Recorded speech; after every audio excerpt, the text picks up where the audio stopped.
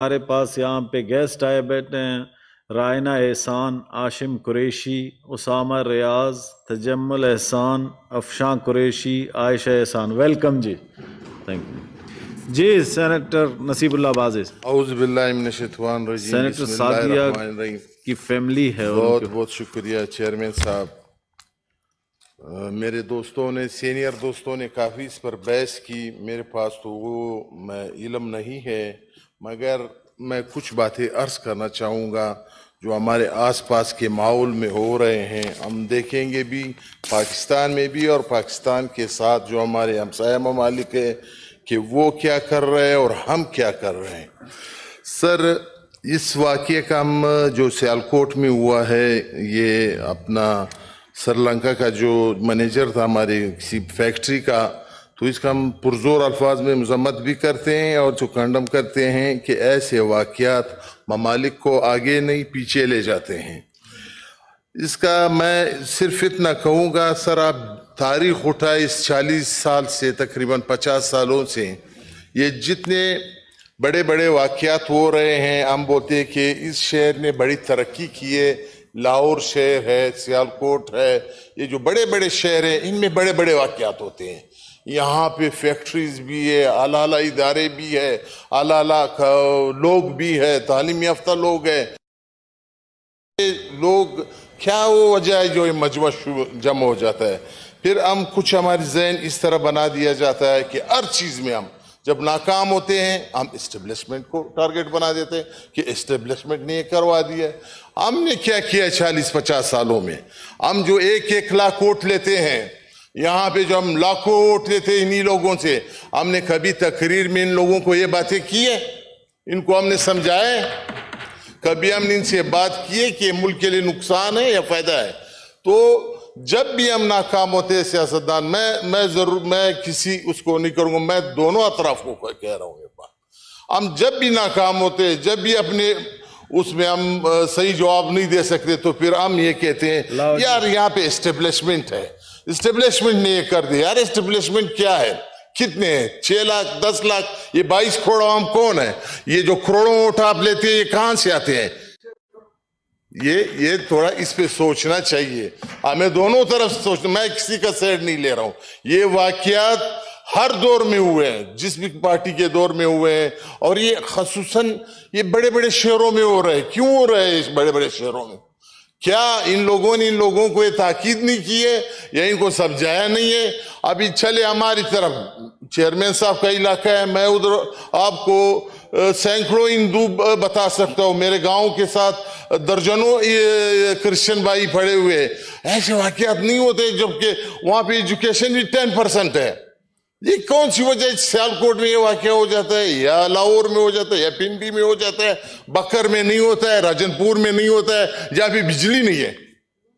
तो सर, इस चीज़ों को हमने देखना है, हम एक उंगली उसकी तरफ़ उठाते हैं, ये नहीं सोचते कि तीन उंगलियाँ हमारी तरफ़ है।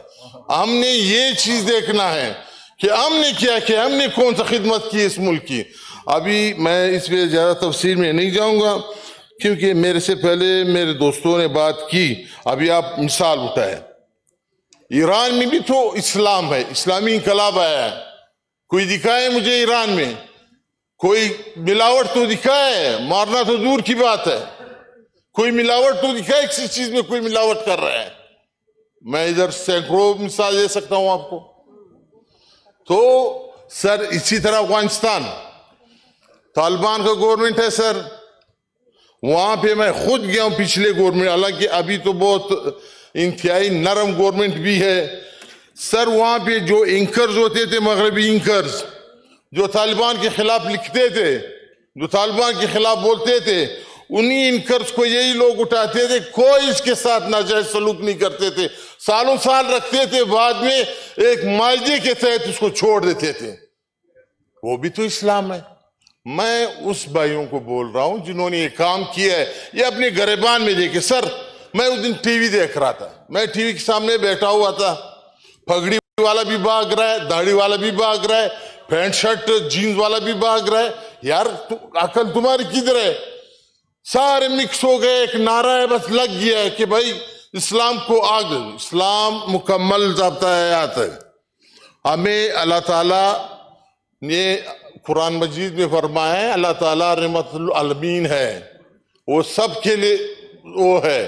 मिसाल, नबी अलैहि वसल्लम ने यही कहा है कि किसी इंसान को आप मार नहीं सकते हैं, आप बेवजह इसी को सजा नहीं दे सकते हैं।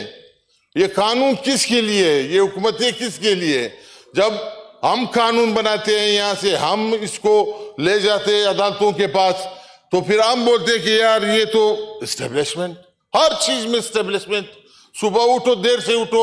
स्टेब्लिशमेंट ने हमें हमें देर से उठाया बाबा, तुम खुद कोई कोई काम तो करो। अपने हल्के में तो तुम जाके इतने नारे लगाते हो, कितने वोट मांगते हो। एक एक घंटे, दस दस घंटे तकरीर करते हो लोगों को। फलाना ले आऊँगा, फलाना लाऊँगा हालाँकि कुछ नहीं लाते हो।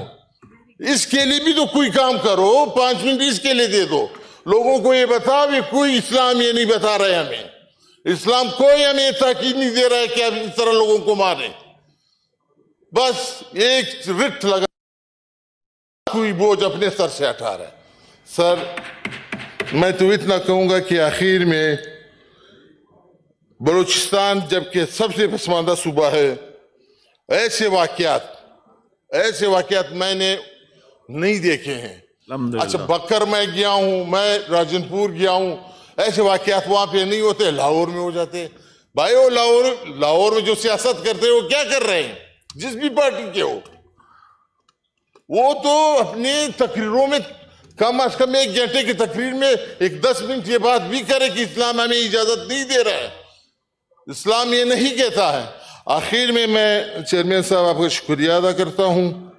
और ये जो वाक्य हुआ है प्रियंत्या कुमारा के साथ और इसका फुली इसका वो होना चाहिए अदालत में। इसका हमें साथ देना चाहिए, सब, सबको साथ, ऐसे वाक़ात ना हो जाए और एक मुकम्मल इंसाफ के साथ इसको हक देना चाहिए। वासलाम मेहरबानी थैंक यू